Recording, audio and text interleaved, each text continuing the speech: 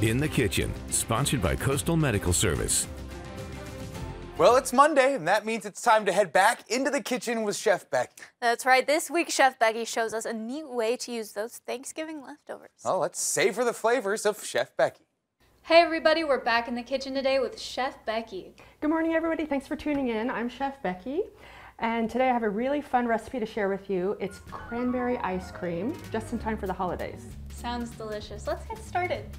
We have one quarter cup of water, 12 ounces of fresh cranberries, and quarter teaspoon salt, one cup of sugar, one and a half cups of heavy cream, and one and a half cups of whole milk.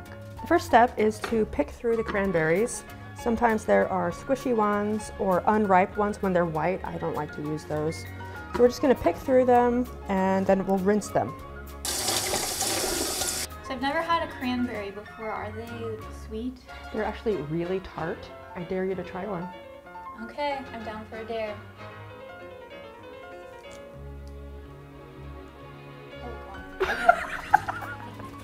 Oh, okay. Just one cup of white sugar and a quarter teaspoon of salt. We need just a quarter cup of cold water. So now I'm going to stir the cranberries. Try to get that sugar dissolved. This will cook for about seven minutes on medium heat. So the cranberries are popping.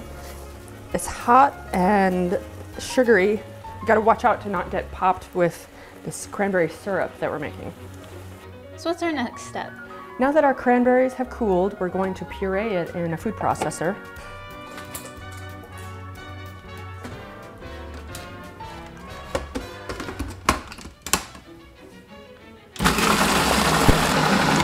Think that's good. I like a little texture.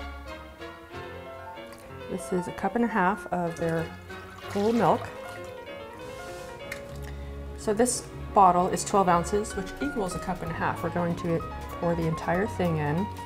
It kind of looks like the cranberry, um, The can. the canned cranberry Yeah. stuff.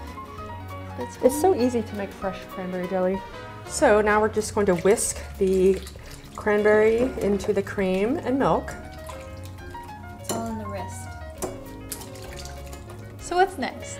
Next we're going to assemble the ice cream maker. Okay. Here is our frozen bowl. It's chilly. And this goes in. This is the paddle. Okay.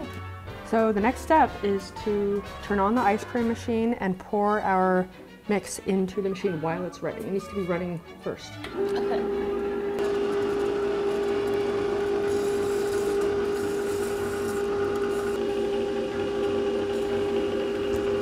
So the ice cream will process for 20 to 30 minutes. I use 30 minutes for this recipe. I think we're ready for some scooping. You ready for a sweet treat? This recipe is sweet and sticky. There's just no way around it. Isn't that beautiful? All right, chef, for those at home who want to make this tasty treat, where can they find it? Well, this recipe and all of the others that I have made on KMTR over the years are posted on my website, chefbecky.com, as well as my Facebook page and Instagram. This is delicious. Oh, so good. Yes, this is really good. Well, Angela, we saw the first bit. You took the bite of the cranberry. Was it successfully transformed in, uh, with that ice cream? Yes, it was delicious. That um, creamer that she was using was a really good high-end brand, and it made it delicious. Yeah, it makes all the splurge, difference. yeah. Good ingredients makes for good results, especially And- when you know what you're doing. Yeah, and Chef Becky mentioned that you can use like the canned cranberry sauce Oh, yeah, it's a little cheap. to make this. You don't have to use those bitter, Yeah. uh, fresh cranberries. Which, So maybe if you bought too many cans of that canned cranberry, you know what to do with it.